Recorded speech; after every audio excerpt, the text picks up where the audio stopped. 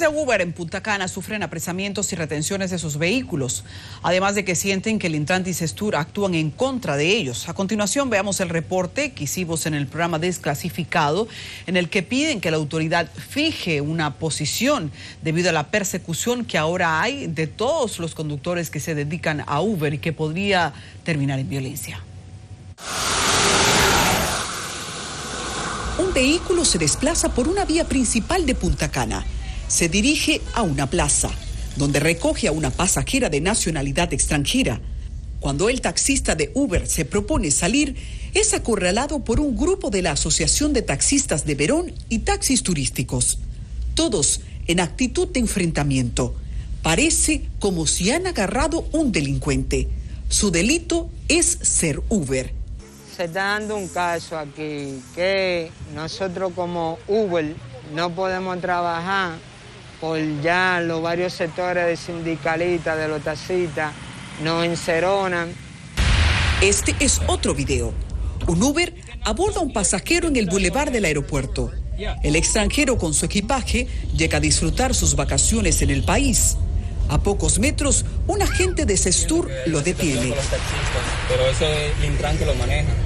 Y aún el Intran no ha dado ningún dictamen sobre él. Le pide documentos tienen conocimiento de eso, de que vean un taxista de Uber, de Y le advierte que queda detenido.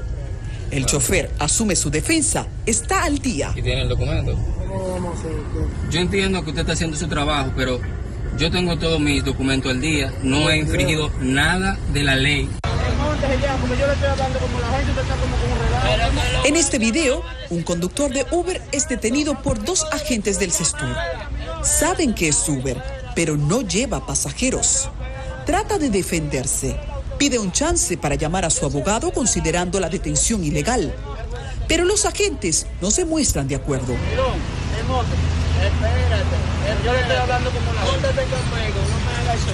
Finalmente, es llevado al destacamento, donde le imponen una multa de 50 mil pesos. No hay ninguna ley, no hay ninguna ley que establezca eso. No hay ninguna. Si la buscan no la van a encontrar. Es porque le da la gana a las autoridades. No somos delincuentes. Uber como compañía, a nosotros, a cada uno de nosotros, al día a día nos depura. El director de Intrant alega ignorancia sobre las retenciones de vehículos solo por el conductor dedicarse a ser Uber. Y aunque señala pudo ser una decisión de Sestur, los hechos dejan muy claro que no, ya que las multas son impuestas en formularios de Intrant y no puede alegar desconocer que Sestur no está calificada para imponer multas de tránsito a pesar de que la ley 7600 dispone sanciones penales en caso de violación a las leyes de tránsito. Es inconstitucional sancionar a una persona por incumplir una norma que no define su propio ámbito de alcance. La palabra más lejos de nosotros como lugar turístico es la organización, porque no estamos ni siquiera organizados.